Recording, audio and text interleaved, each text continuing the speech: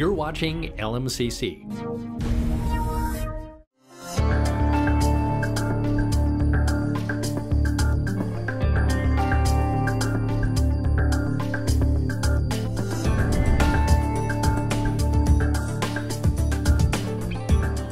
I'm standing at the end of a driveway of a home that just recently had a fire. Normally, the people that live in the home are standing at the end of the driveway with me, watching the firefighters fight the fire.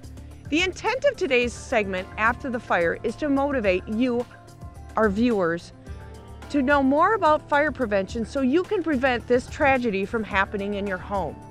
Now, firefighters fight fires, but fire educators have to fight complacency. People think, this isn't going to happen to me. It's never going to happen in my neighborhood. This will happen to other people. They tell themselves, the fire station's across the street, fire hydrant's just down the road. I know a firefighter on the block. This stuff will not prevent a fire in your home. You have to know about fire prevention. Do you know how your fire department operates? Is it full time? Is it paid on call? Is it volunteer? How do they respond to fires? When the fire district has a fire and we deem it's safe for people to go back in, I try to prepare the people that live there for what they're going to see when they walk in. The images they have in their head, and most people have in their head, are usually from TV and movies, and that's just not reality. Usually they're devastated, overwhelmed, and shocked by what they see. Let's go check it out. Here we are inside with Mike Lindstrom from Lindstrom Restoration, and today we are going to show you what a house looks like after a fire. Absolutely. It's good to be here, Kelly. So let's talk about what, where we're standing and what we're looking at. Yeah, well, we're here inside the entryway to the home. It's a split level, kind of built between 1978 and 1980. And we see this a lot where there's some there's some lines here and marks with the soot. And what are we looking at, Kelly? So a lot of people don't realize that um, a in a fire, the hot black icky smoke goes up. When you're sitting at a campfire or in front of your fireplace, that fire goes up into the sky, it goes up into the chimney. And it's not usually hot black icky smoke because you're burning wood. But when you're in a home and you have fire, all the contents are creating this soot, this blackness that goes up and fills the room up. And what you're looking here is at the soot, how it's coming down. Now, this line here where the drippings are is where the firefighters came in with their fire hose, hit that hot, black, icky smoke, and steam was created, which is causing the dripping marks that you see here. But down below, you see this clearer space. This is when we talk about crawling low under smoke because this is where the cool, clean air that's in the room remains, and that's how you can get out safely. So it's cool down here and almost up to 1500 degrees up here. So I'm six foot 2 mm -hmm. and if I was in this home during this fire, basically the smoke would be here at my hips. Yeah, but you would be crawling low. I'd be crawling that's low. That's why we crawl low under the smoke. Sure. So we can get out and stay out. Okay, Kelly, so here we are in the kitchen. You know, what are some some top three things that homeowners and, and citizens in the area should be worried about with fire? And then also, what are some things that basically everybody could do in their own kitchen, in their own home to either, you know, put out a fire or prevent a fire? Okay, so the top um, causes of home fires in the state of Minnesota are cooking, um, open flame, and heating. So let's talk about cooking fires. Most of the cooking fires in Minnesota occur on top of the stovetop. And it's because people are walking away from the stovetop. We call it unattended cooking. And for whatever reason, they're answering the door. Their kids. Checking on the kids, going to see why the dog's barking, you know, ordering wreaths from the scouts. For some reason, they're walking out of the kitchen. We've actually even had people that have been standing in their kitchen, texting, social mediaing, doing something, and the fire actually occurs right before them. Um, so a lot of people, when they come in and they see a pot on fire on the stove, because they've you know been at the door talking to the neighbor. Sure, we're gonna get some water over here, right? Right, and um, we've been taught our whole lives put water on fire. Sure. So when we're in a panic situation, what are we gonna do? We're gonna panic and go, I've got to put water on this. Well, you can't do that on a stovetop, because you could be cooking bratwurst, frying French fries, making hamburgers. So what you want to do is take the lid of the pan, okay, and you actually want to treat that like a shield to protect yourself from that flame. And you just want to slowly slide the lid over and turn off the heat source. Now we tell people you want to leave it, you know, overnight or till that next evening. You just want to leave it on the stovetop for an extended amount of time because it will flare back up if you uh, take the lid off. Now, if you don't have a lid, you know, grab that baking dish, put it over. Grab that cookie sheet or pizza pan, put it over. Turn off that heat. It's as simple as that. Now, when it comes to open flame, um, most of those are candles that are unattended or put in the wrong place. So I tell people, you know, treat your candle like a toddler. Would you leave a toddler alone in a room? No, you shouldn't leave a candle alone in a room. You should blow it out before you leave. And also, it can't be around curtains, underneath cupboards. Sure. It's got to be somewhere where that flame, that heat from that flame isn't going to spread and start a fire.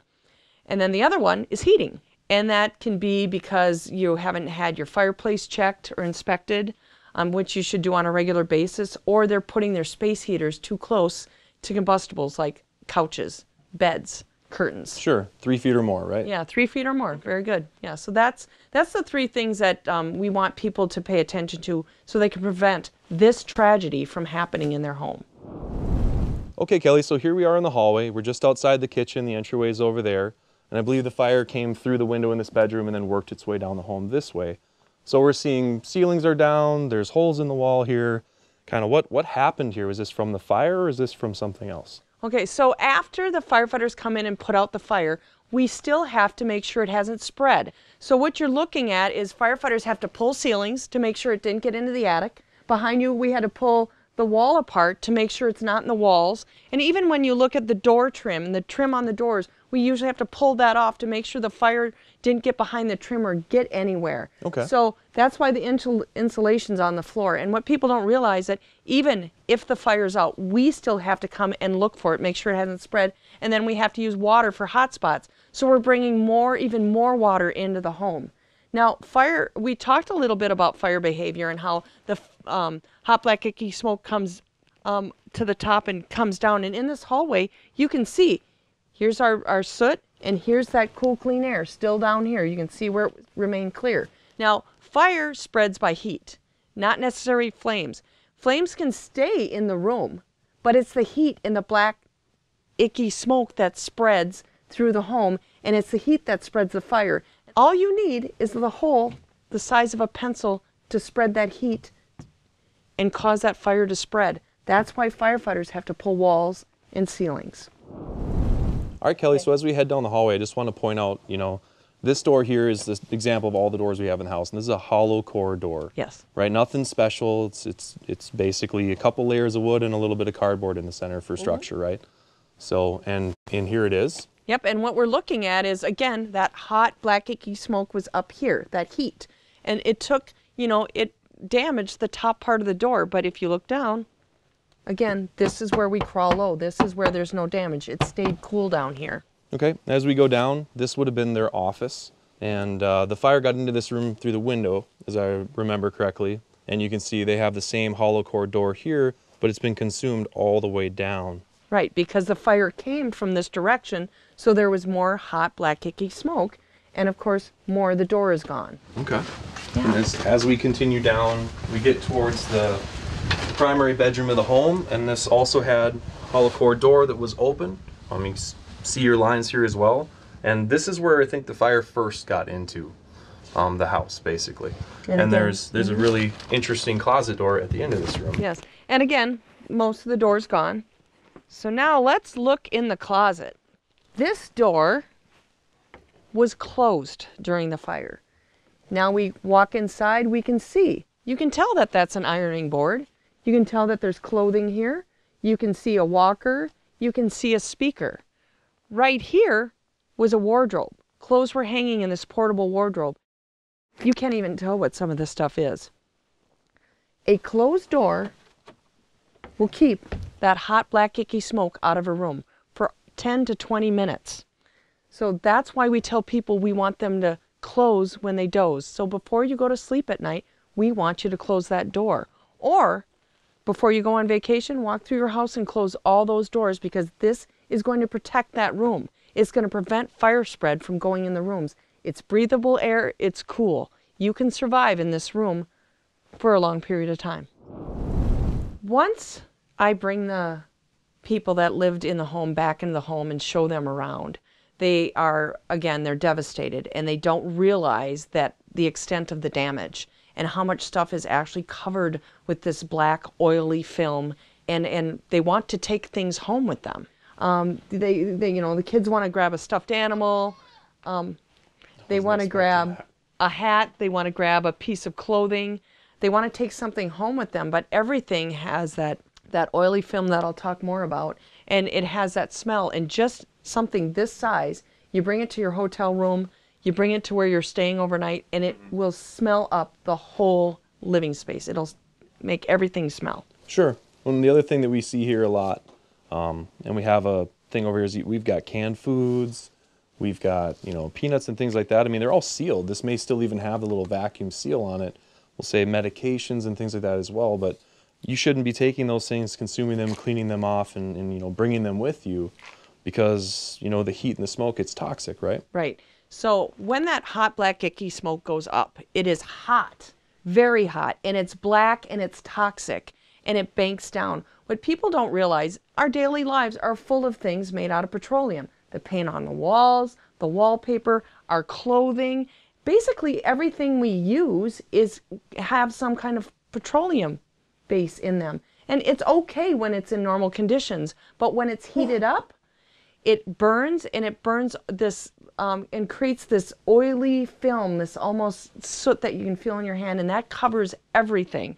And people also don't realize that this soot is cancerous. There's carcinogens in this. There's different things that are toxic that you can't breathe. And that's why it's so important you get out and stay out in under three minutes. And that's what you see this coating of all this stuff is toxic. That's why Mike and I are wearing gloves. Sure. So even if you could clean it, you shouldn't. Don't Shouldn't even use risk it. because it was also probably heated up. Okay, Kelly, so here we are back in the entryway, right? This is where the family had their way to get out of the home. So we've learned a lot of few things today, right? We've learned about a single hollow core door can save your life. It can it can prevent uh, and buy you some time and things like that. What are some of the more finer points about you know early warning and and notifying your family about a fire that may be going on? I know when I was a kid, I was told I had you know seven to ten minutes to get out of the home if I heard the fire alarm go off, things like that. You know, we all learned stop, drop, and roll. You know, what are what are some of the mm-hmm. things that have changed that we need to know about? Well, the big change has been it's no longer seven to 10 minutes, it's three minutes to get out. And that has a lot to do with, again, the things we talked about how the contents of our home are not really natural fibers anymore, like wool and cotton.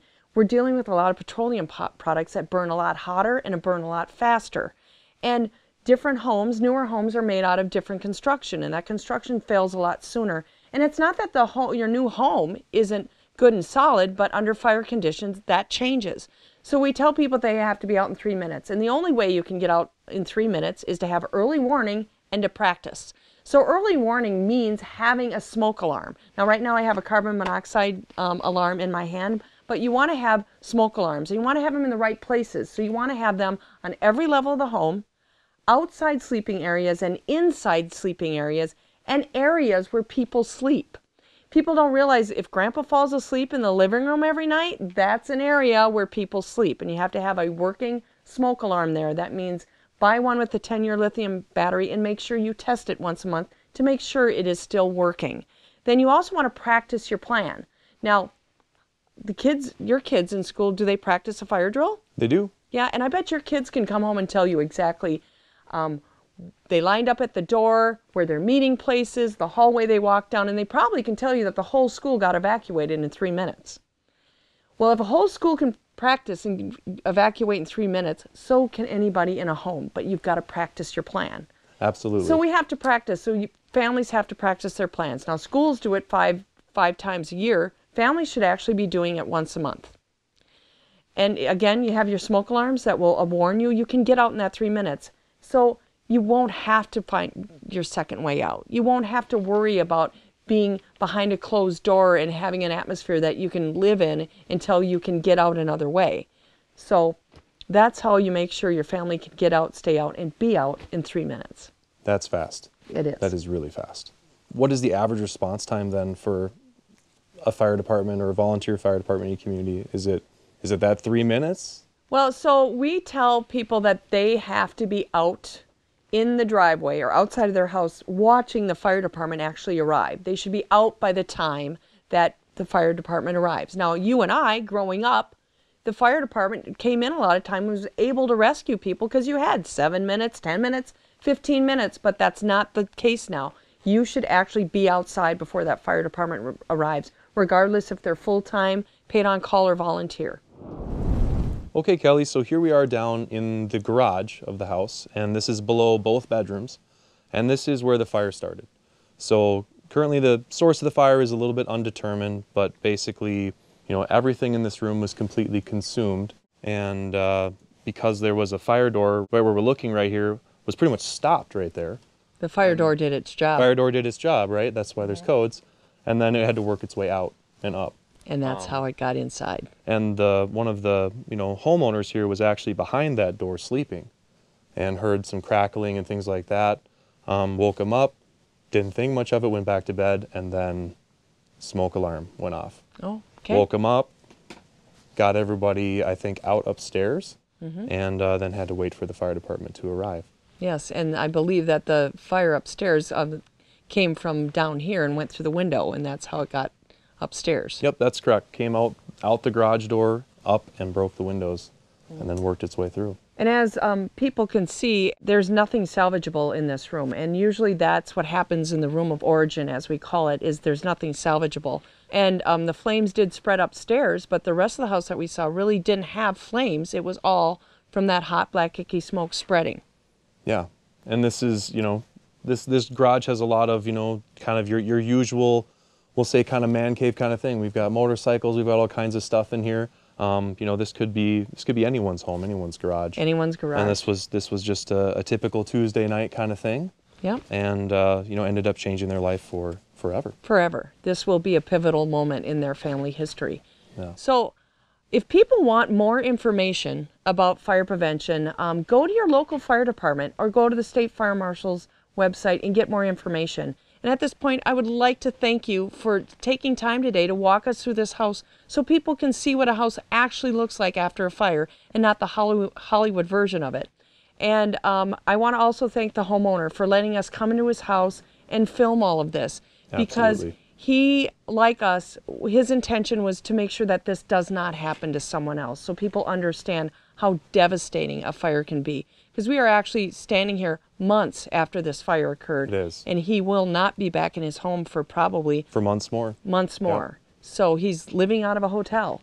So please be proactive about fire prevention. Prevent the fire from happening in the first place. Know how to react by practicing a plan and make sure that you have working smoke alarms in the right locations.